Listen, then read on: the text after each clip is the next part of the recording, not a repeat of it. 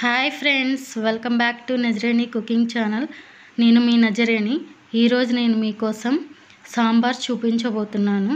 ఈ సాంబార్ ఇడ్లీ రైస్ దోశ ఉప్మాలోకి సూపర్గా ఉంటుంది. మీరు తప్పకుండా ట్రై చేయండి. ఒక ముద్ద కూడా వదలకుండా తింటారు.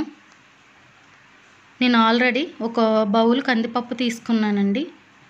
వాష్ చేసి పెట్టుకున్నాను. ఇప్పుడు అందులో కట్ చేసి పెట్టుకున్న ములక్కాయలు దోసకాయ ముక్కలు క్యారెట్ ముక్కలు సొరకాయ ముక్కలు.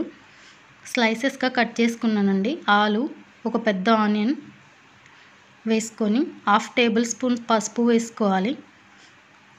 వన్ స్పూన్ చిల్లీ పౌడర్ వేసుకొని కుక్కర్ మీద మూత పెట్టుకొని స్టవ్ ఆన్ చేసుకొని త్రీ విజిల్స్ వచ్చే వరకు ఉడికించుకోవాలండి. తర్వాత ఇప్పుడు మనం ఒక బౌల్ తీసుకొని అందులో ఫిఫ్టీ గ్రామ్ చింతపండు వేసుకొని తగినన్ని వాటర్ని పోసుకోవాలి. త్రీ విజిల్స్ వచ్చేసాయండి. మనం వేసుకున్న వెజిటేబుల్స్ అన్నీ మంచిగా కుక్ అయిపోయినాయి చూడండి. మెత్తగా అయిపోవండి. అవన్నీ ఒక బౌల్లోకి తీసుకుందాము సపరేట్గా. చాలా సింపుల్గా ఈ సాంబార్ని తయారు చేసుకోవచ్చండి. ఆఫీస్కి వెళ్ళే వాళ్ళు కూడా ఈజీగా చేసుకోవచ్చు. మీరు తప్పకుండా ఈ సాంబార్ని ట్రై చేయండి. చాలా చాలా బాగుంటుంది. తర్వాత ఒక స్పూన్ సాల్ట్ వేసుకొని పప్పుని రుబ్బుకోవాలండి మెత్తగా. రుబ్బుకున్న తర్వాత ఇప్పుడు చింతపండు జ్యూస్ని యాడ్ చేసుకోవాలండి. తర్వాత మనం ఉడికించి పెట్టుకున్న వెజిటబుల్స్ ముక్కలన్నిటిని వేసుకొని one and half glass water వేసుకోవాలి.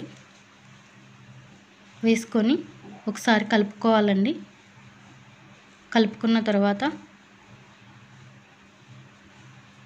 స్టవ్ ఆన్ చేసుకొని ఇప్పుడు కుక్కర్ని పెట్టుకోవాలి. ఇది ఉడుకుతూ ఉంటుందండి. ఇప్పుడు ఇందులో పచ్చిమిర్చి బెండకాయ ముక్కలు రెండు బెండకాయలండి. ఒక టమాటో ముక్కలు కట్ చేసుకుని వేసుకొని కలుపుకోవాలి. మనకి సాంబార్ రెడీ అవుతూ ఉంటుందండి. ఇప్పుడు పక్కన పోపు వేసుకుందాము. ఒక బాండీ తీసుకొని టూ టేబుల్ స్పూన్స్ ఆయిల్ వేసుకోవాలండి. ఆయిల్ హీట్ అయ్యాక మూడు ఎండుమిర్చి వేసుకోవాలి. వన్ స్పూన్ జీలకర్ర వేసుకోవాలండి కొద్దిగా. దంచి పెట్టుకున్న వెల్లుల్లిపాయలు వేసుకోవాలి. వేసుకొని మంచిగా దూరగా ఫ్రై చేసుకోవాలండి. ఫ్రై చేసుకొని అందులో కరివేపాకు వేసుకొని కలుపుకోవాలి. చూడండి ఫ్రై అయిపోయింది. ఇప్పుడు ఆ పోపుని మనం సాంబార్లోకి కలిపేసుకుందాము. దాంట్లో కొద్దిగా సాంబార్ యాడ్ చేసుకొని మనం సాంబార్లోకి వేసేసుకుందాము. ఇప్పుడు ఇందులో కొత్తిమీర వేసుకుందామండి. వన్ స్పూన్ సాంబార్ పొడి వేసుకోవాలి. ఇది చూడండి మంచిగా తెరులుతుంది సాంబారు. మంచి అరోమా కూడా వస్తుంది. ఇది టిఫిన్స్లోకి రైస్లోకి చాలా చాలా సూపర్గా ఉంటుందండి. మీరు తప్పకుండా ఇలా ఒక్కసారి ట్రై చేయండి. అంతే అండి.